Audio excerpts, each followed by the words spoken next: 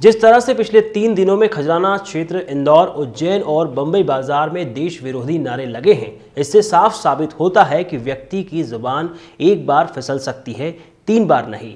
इन गद्दारों के दिल में जो है वो इनकी ज़ुबान पर आ ही गया। इसलिए युवा नेता कान्हा जोशी ने नेतृत्व में कल शाम साढ़े सात बजे बंगाली चौराहे पर गद्दारों के विरोध में प्रदर्शन किया गया, जिसमें भारी मात्रा में युवाओं ने भाग लिया देश के गद्दारों को जूते मारो सालों को देश के गद्दारों को जूते मारो सालों को पाकिस्तान मुर्दाबाद पाकिस्तान मुर्दाबाद मुर्दाबाद! पाकिस्तान मुर्दाबाद! पाकिस्तान मुर्दाबाद! मुर्दाबाद! पाकिस्तान मुर्दाबाद!